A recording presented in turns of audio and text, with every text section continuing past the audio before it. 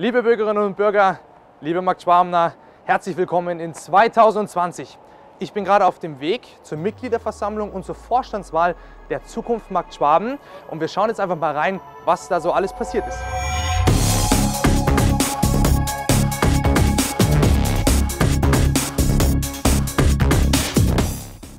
Dieses Jahr haben wir Kommunalwahl in Markt Schwaben und ich freue mich jetzt ganz besonders mit dem Bürgermeisterkandidat der Zukunft Markt Schwaben zu sprechen, Sascha Hertel. So, ich sitze jetzt hier nach der Mitgliederversammlung, denn währenddessen dürfen wir ja leider nicht mitfilmen. Aber ich freue mich ganz besonders jetzt auf den Bürgermeisterkandidaten Sascha Hertel. Und Sascha, sehr schön, dass du dir nochmal die Zeit genommen hast. Wie fühlst du dich denn jetzt, nachdem du einstimmig gewählt wurdest, dass du wieder Bürgermeisterkandidat bist? Ich freue mich. Ich habe gerade eben das einstimmige Votum der Mitglieder gekriegt und darf wie 2014 auch als Bürgermeisterkandidat der Zukunft Markt Schwaben antreten. Ich freue mich auf einen intensiven und erfolgreichen Wahlkampf und hoffe einfach darauf, dass Sie, liebe Bürgerinnen und Bürger, mir am 15. März Ihr Vertrauen schenken und ich als Ihr Bürgermeister danach wirken darf. So, lieber Sascha, vielen lieben Dank für deine Einschätzung. Ist ja schon mal ganz interessant zu hören. Du bist ja damals, 2014, auch schon mal als Bürgermeisterkandidat angetreten, wie du gerade eben schon mal gesagt hast. Ziemlich erfolgreich, auch mit 20 Prozent damals.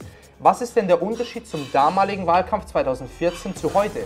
Ja, 2014 war er ja noch völliger Neuling, hatte natürlich die ganzen Themen im Wahlkampf schon drauf, mhm. aber das fundierte Wissen, was ich jetzt als Gemeinderat in den sechs, letzten sechs Jahren wirklich erwerben konnte, die Zusammenarbeit mit der Gemeindeverwaltung und auch das nähere Kennenlernen, was sind wirklich die Bedürfnisse der Bürgerinnen und Bürger, das hat mir 2014 noch gefehlt und das will ich jetzt einfach einbringen zum Wohle von Max Schwab.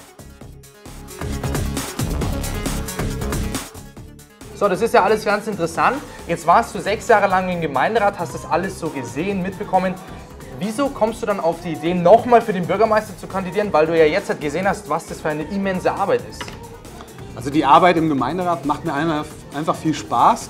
Ich möchte halt auch der Gemeinde, meiner Heimatstadt, auch was zurückgeben. Und ich sehe halt im Gemeinderat als normales Gemeinderatsmitglied, da kann man zwar Anträge einbringen, aber wirklich gestalten, das kann man nur als Bürgermeister und der Herausforderung möchte ich mich gerne stellen, zum Wohle meiner Heimat.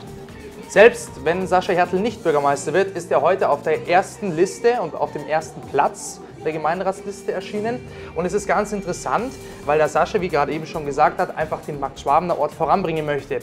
Die letzte interessante Frage ist, Gut, politisch engagiert, kennst dich damit aus, setzt dich damit auseinander.